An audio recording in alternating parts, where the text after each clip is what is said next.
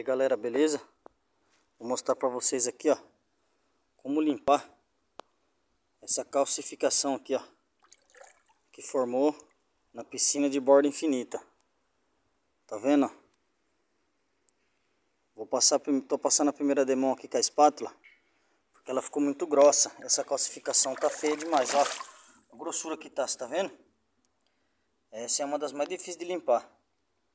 E eu vou passando a primeira demão com a espátula.